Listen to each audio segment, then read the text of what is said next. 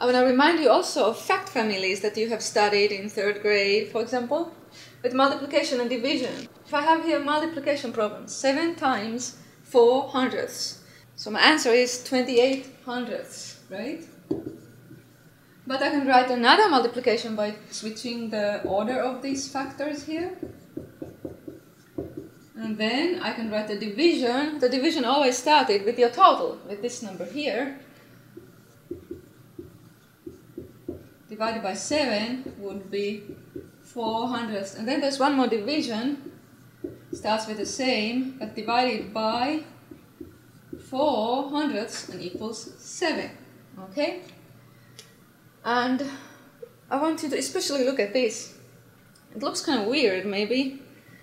If, you, if this is the first time you see a decimal divided by a decimal, the answer is 7, like a really big number compared to this that you start with. But think of it this way. Division can always be thought of in this second way too, instead of sharing. You know, here we did sharing divisions. This is called a measurement division, so to speak. But you think, how many times does this number fit into this number? How many times does 4 hundredths fit into 28 hundredths? And then it makes sense to get an answer of 7 times. Here's another fact family we can build. It starts with a division this is 108 thousandths. So we'll use the blueberry muffin trick, right? So 108 blueberry muffins divided between 12 persons. Each person would get 9 muffins. But I had thousandths, so I'll make this 9 thousandths. And then I can write another division, starts with the same number, but then I put here 9 thousandths, and the answer is 12. And then the two multiplications, 12 times 9 thousandths is 108 thousandths and then just the other way around here. Now these next problems we're gonna solve using the idea of how many times does this number fit into here. And they become pretty easy. How many times does 3 tenths fit into 9 tenths? Well, that's the same as asking how many times does 3 fit into 9? The answer is 3. Notice, you do not put here 0.3 or any other decimal. It is 3, the whole number 3. You can check by multiplying. 3 times 3 tenths equals 9 tenths. It checks. Here, how many times does 6 hundredths fit into 48 hundredths? 8 times, right? How many times does 2 tenths fit into 1 and 2 tenths? It's the same as asking how many times does 2 fit into 12? 6 times. Over here, how about how many halves do I, do I have in 5? You can probably count them. Draw pictures. 10, 10 halves are in 5. How many thousandths are in 1? Thousand, right? Or how many tenths are in 2 and 3 tenths? Well, in 1, you would have 10 tenths. In 2, you will have another, you have 20 and then here's three more, so 23. Lastly, we'll solve a word problem that relates to that idea. How many 0.4 meter pieces can you cut off from a 12 meter roll of ribbon? What is it, Matthew? Oh.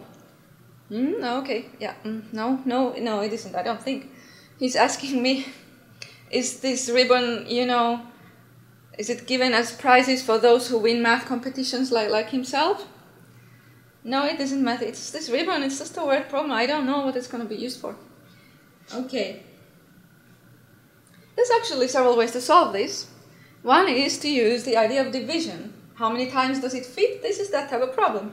How many times does this fit or go into the 12 meters, you know?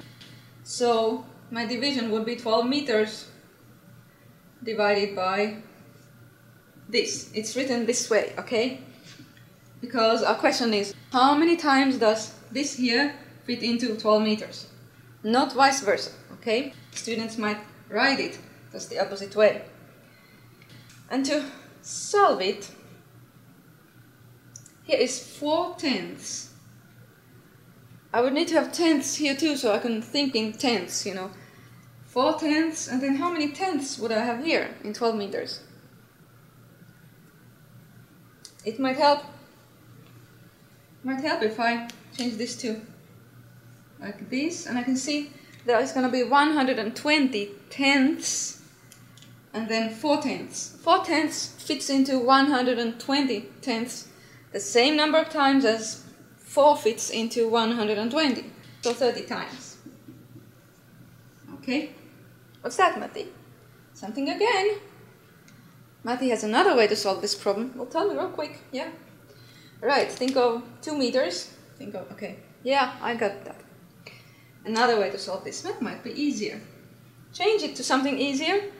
How many 0.4 meter pieces can you cut off 2 meters of ribbon? Okay, 2 meters of ribbon. See, you can even think of 200 centimeters and 40 centimeters. You would get 5 pieces. And then 12 meters. Okay, there's a six-fold difference here, 6 times, so you go this times 6 and get 30. Yep. I hope this was helpful.